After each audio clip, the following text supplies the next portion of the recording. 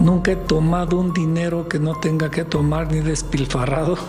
El pasado 12 de diciembre, tristemente Vicente Fernández partió de este mundo. Además de los fondos de inversión, propiedades, regalías y un montón de dinero que se repartió entre la familia de don Vicente, se dice que es su hijo mayor, Vicente Fernández Jr., quien ya le puso el ojo al excéntrico negocio de caballos miniatura. Ahora él está asegurando que ese negocio simplemente es suyo y toda la familia está con cara de ¿what? Todo el mundo sabe perfectamente que en vida Vicente Fernández tuvo, además de una exitosísima carrera musical, empresas en varios rubros, en donde destacan hoteles, restaurantes, una tienda de artículos de vaquero, que por cierto es la más grande de México, su centro de espectáculos, el Rancho Los Tres Potrillos, y su reconocido criadero, de caballos de distintas razas y tamaños. En este último negocio, Vicente Fernández le ponía todo su corazón. La crianza de caballos pura sangre era su especialidad. Sin embargo, los caballos miniatura nos enamoraban a todos. Cabe aclarar que no estamos hablando de ponis,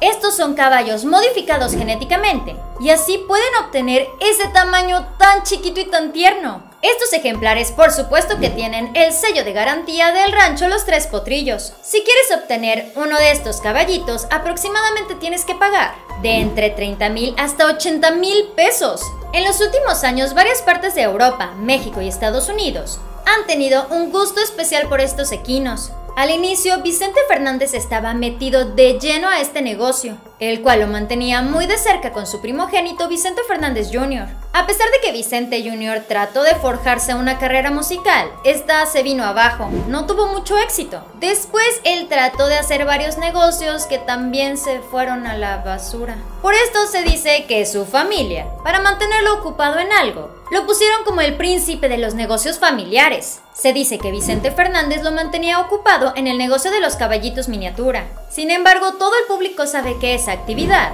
es derivada del rancho Los Tres Potrillos, por lo que de una forma u otra, este negocio le pertenece a todos y cada uno de los miembros de la dinastía Fernández. Cuando tristemente Vicente partió de este mundo, sus bienes fueron repartidos en partes completamente iguales entre todos los herederos, pero Vicente Fernández Jr. particularmente sí o sí quiere el negocio de los caballitos. Se dice que él está pidiendo que se lo den, porque como él estuvo involucrado en ese negocio, ya se cree casi casi el dueño. Lo cierto es que ese negocio le pertenece al rancho Los Tres Potrillos, Ahorita el rancho le pertenece a doña Cuquita Abarca. Pero, ¿qué va a pasar cuando la esposa de Vicente Fernández también parta de este mundo? El rancho pasará a manos de sus cuatro hijos, algo que probablemente Vicente Fernández Jr. no quiera. A pesar de que Doña Cuquita se encuentra perfectamente bien, él quiere asegurar su negocio de los caballitos antes de que cualquier cosa pase. Algunos han mencionado que si realmente Vicente Jr. quisiera este negocio para sacarlo adelante, para poner en alto el nombre de su papá, los demás miembros no tendrían ningún contratiempo en cederle los derechos.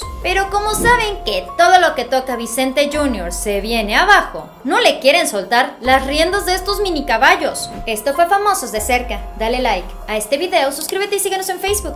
Espero que tengas un excelente día. Nos vemos muy pronto. Bye.